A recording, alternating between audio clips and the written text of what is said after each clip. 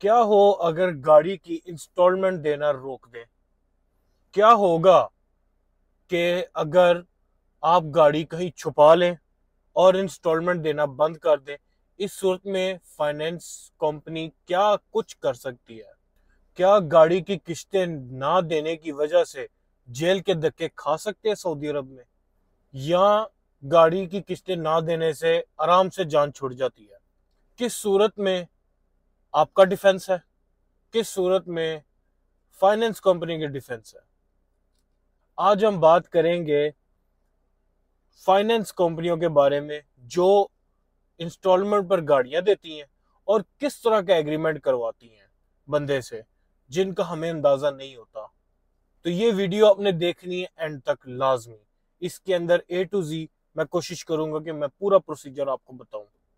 अस्सलाम वालेकुम रहमतुल्लाह मेरा नाम है उमर हफीज, ओवरसीज लाहौरी में खुश आमदीद। लो जी, आज सबसे बड़ा एक सवाल मुझे मिला कि किस तरह ये फाइनेंस कंपनियाँ जो इंस्टॉलमेंट पर गाड़ियाँ देती हैं, ये किस तरह का एग्रीमेंट करवाती हैं बंदे से? इसके अंदर क्या ऐसी शराइत होती है जो खतरनाक होती है और किन शराइत के ऊपर जो है बंदे की तलाफी हो जाती है, जान छुड़ जाती है? तो इसी मौजू के ऊपर आज बात करनी है।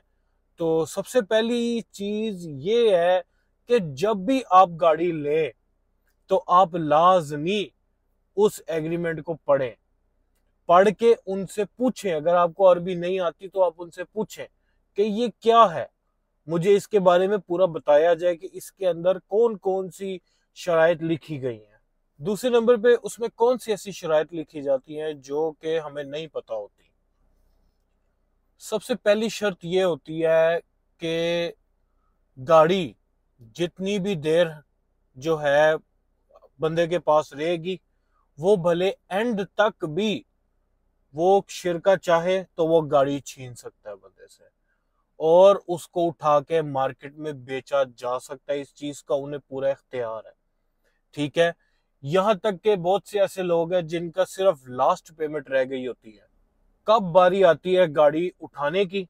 जब वो गाड़ी को गाड़ी जो है उठा लेते हैं और इम्पाउंडेड कर देते हैं। और कौन से वक्त, कौन सा वो वक्त होता है जिस वक्त में गाड़ी इम्पाउंड नहीं करते, सिर्फ़ उसके मालिक के खिलाफ एक्शन लेते हैं बस। सबसे पहला काम जो ये करते हैं ना, ये बंदे की खिदमत बंद करते हैं।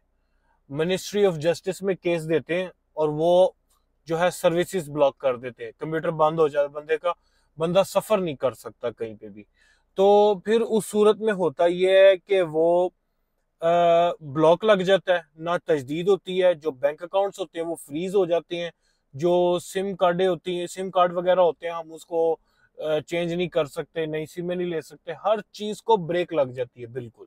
सबसे पहला काम तो ये करते हैं, उसके बाद फिर ये अपनी शर्तें मनवाते हैं। और अगर फिर भी बंदा ना माने तो फिर जाके ये गाड़ी उठा के ले जाते हैं।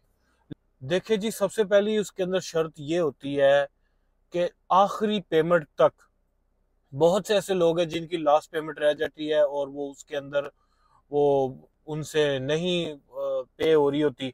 तो आखिरी पेमेंट तक भी खतरा होता है कि वो गाड़ी छीन के, बेच के पैसे खा सकते हैं और आपको कोई पैसा वापस नहीं करेंगे। ये उन्होंने सबसे सबसे जो मेन जो बात है वो ये लिखी होती है एग्रीमेंट में। दूसरे नंबर पे ये होता है कि वो जब चाहेंगे इंश्योरेंस कंपनी आपकी बदल देंगे। फॉर एग्ज़ाम्पल कि आपकी इंश्योरेंस कंपनी है अलजमिया, या मिसाल है कि अब्दुल लतीफ जमील आपका इंश्योरेंस है, वो ही अब्दुल लतीफ जमील से सही करा कर देंगे गाड़ी। लेकिन उन्होंने एग्रीमेंट में मेंशन किया होता है कि वो जब चाहे बगैर बगैर बताए अपनी इंश्योरेंस चेंज कर सकते हैं।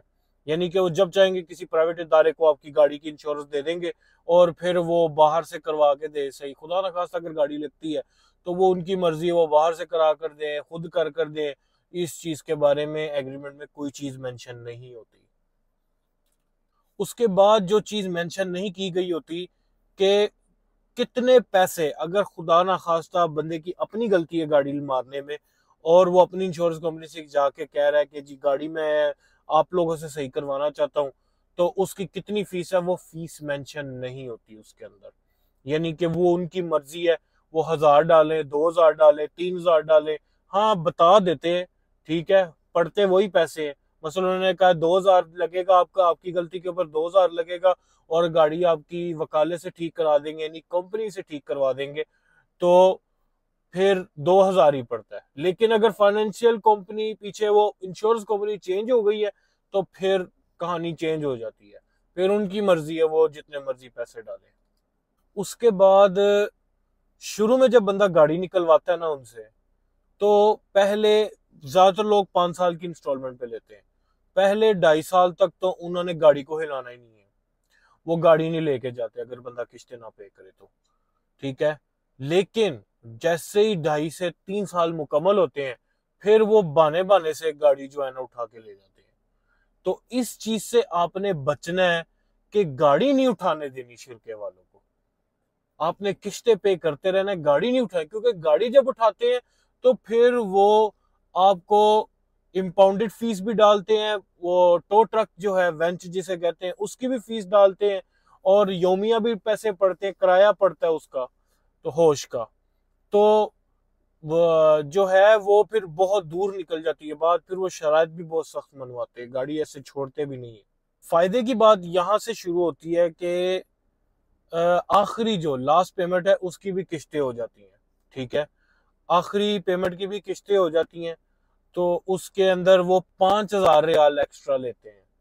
अगर आपने डेढ़ साल या एक साल की किस्तें की हैं ना तो वो पाँच हज़ार रियाल अपना ऑन लेते हैं उसके अंदर फाइनेंस कंपनी वाले।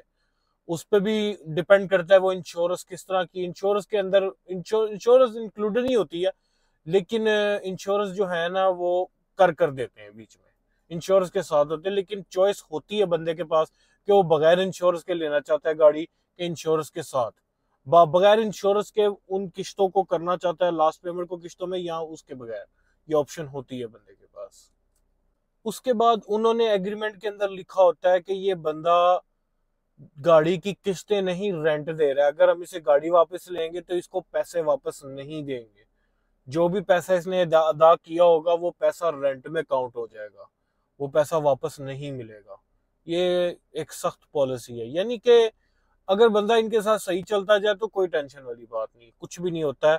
गाड़ी बिल्कुल सेफ़ रहती है, लेकिन इनकी किस्तें नहीं डिले करनी चाहिए। किस्तें डिले होने में फिर उनके हाथ में मामला चला जाता है और उन्होंने काफ़ी सख्त किस्म के एग्रीमेंट किए होते जो कि अगर चले जाएँ अदालत तक तो उनके पास डिफेंस पॉइंट ज़्यादा होते हैं।